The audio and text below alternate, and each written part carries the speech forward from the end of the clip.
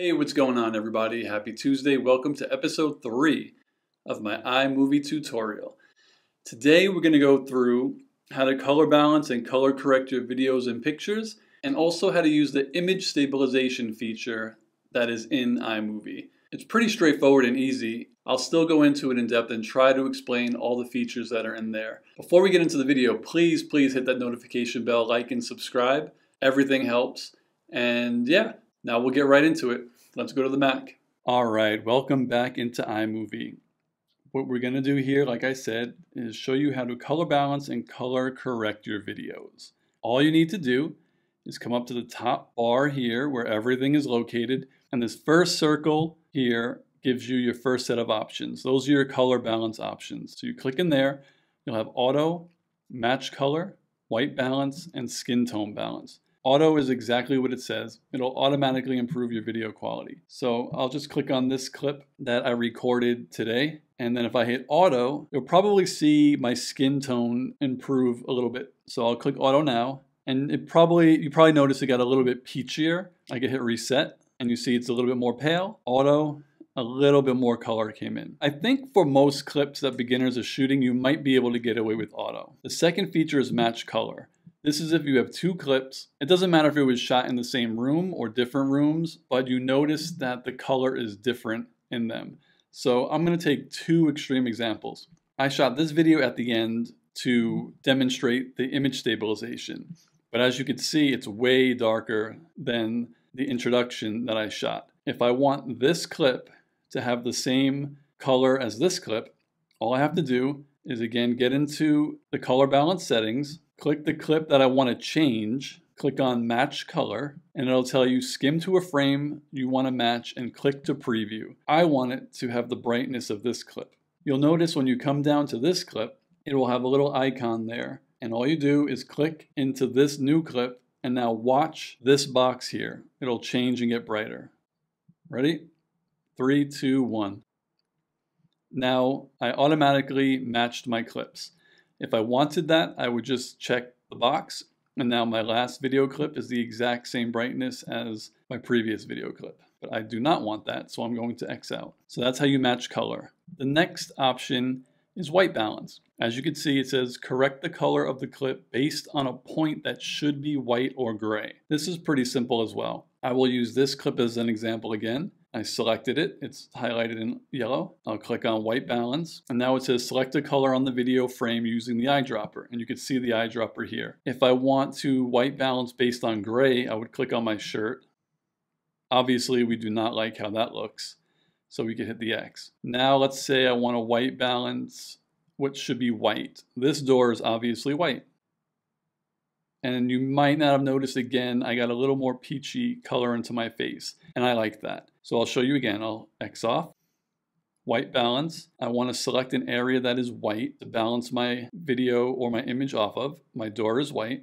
I click it. And now hopefully you saw my facial color went from really pale to having some life in it. I'll X that out again, and that is white balance. Skin tone balance is the same as white balance, only you're balancing off of skin tone. And I might be way too pale, but it never works for me, but we'll try it. So select the color on the video frame using the eyedropper. You want to select skin tone, so we'll click on my cheek. And I personally don't like how that looks, but it doesn't look as bad as when we balanced off of gray. So I will X this out. So let me check another clip. We'll go where I'm facing the camera. I'll click on skin tone balance again, and this time I'll click on my forehead. And again, I don't like how that looks. It doesn't look natural, and maybe for my skin tone, skin tone balance doesn't work. So I will hit the X to remove those changes. Personally, whenever I'm editing in iMovie and I want to balance, I either use auto or just white balance. Those two seem to work for me. All right, the next setting I want to show you is color correction. And that is the color palette right here. Select the clip you want to color correct with the color correction tool and you just click it. Now this is more manual. So this one, I'll just go through the settings. This is something you'll have to work on your own, like it's your own personal preference. So when you have your video in here, I can't tell you what you want it to look like. I'll just go through some of the settings. So this bar here, the first knob, adjusts the shadows to make dark areas lighter or darker. So when you move this knob, it'll focus on the shadows and you'll either make the shadow lighter or darker. And you could go to the left to make it darker, to the right to make the shadows lighter. Easy as that. The middle section adjusts contrast to increase or decrease the difference between light and dark areas. So this is the space between light and dark. Again, to the left makes it darker, and to the right makes it lighter. The middle circle just adjusts the brightness of the entire clip. Darker to the left, lighter to the right. The second to the last circle adjusts the contrast increase or decrease the difference between light and dark, just like this one does. So you could use either, but now it's darker to the right and lighter to the left. And the last circle adjusts the highlights to make bright areas lighter or darker. This knob will concentrate on your highlighted areas, which means the brightest areas, and it'll brighten those areas or darken those areas. So to the left will darken your highlights, to the right will brighten your highlights, and you can see how it clips. The middle toolbar, this adjusts the saturation to make the clip more or less colorful. And you'll be able to see just by when I move the, the little knob. To the left, it turns to black and white. To the right, it just brings out all the colors. You can see my gray getting grayer and my blue Yankee hat getting much bluer. In the middle, my Yankee hat looks black, sort of. But when you move it to the right, it comes in, it looks more blue. So that's fairly simple. It's one knob. To the left is black and white. To the right will bring out the color. And this dial all the way to the right adjusts the temperature to make colors warmer or cooler. Pretty much what this means is if you move it to the left, it'll bring out more of the blue in the picture. If you shift it to the right, it'll bring out more of the yellow or orange. So you could tell I move it to the left. Look how I would say icy it gets. From normal picture to really icy and blue. And if you move it to the right, normal to really like warm and yellow. And again, that's another personal preference. So that is what these three settings do in the color correction tab. The third piece I wanted to show you was image stabilization. If your video is really shaky like mine is, because I made this for a test and I shouldn't have probably done it like this, what it will do is stabilize your video. But let me play my video for you first so you could see the difference. So I walked out and look at me just wobbling the camera. It's really wobbling left and right, up and down. So this is the clip we're going to use the stabilization on. Just remember, wobble, wobble, wobble, wobble, wobble. We go to the bar again, toolbar here, and this little camera icon that looks like it's shaking is the stabilization.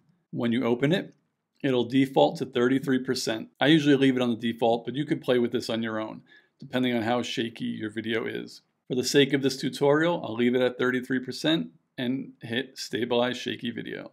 And now it's analyzing for dominant motion and this will take a minute or two, or five, or 10, but I'll fast forward.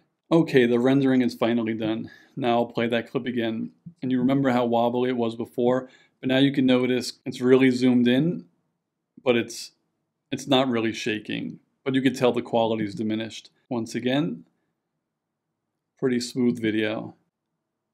Pretty smooth video. And now I will revert and I'll show you it again. You see how it zoomed out? Because now it's going to have all the shake in there. And that's pretty much image stabilization for video. Like I said, if you're taking very careful video and it's not shaking a lot, but you notice a little bit here and there, this will work perfectly. And remember, if you want to kind of stabilize your movie manually, when you click the button, you could use this tab and you could set the percentage that you want to use. And notice the more stable you make it, the more it'll zoom in because it's just pretty much cropping it to make it as less shaky as possible because mine was a terribly shot video. And that's about it. I showed you how to color balance, how to color correct, and how to use image stabilization. So yeah, if you have any questions, let me know below. Please hit that notification bell, like and subscribe. It'll really help my channel. And I'll see you on the next video. Later.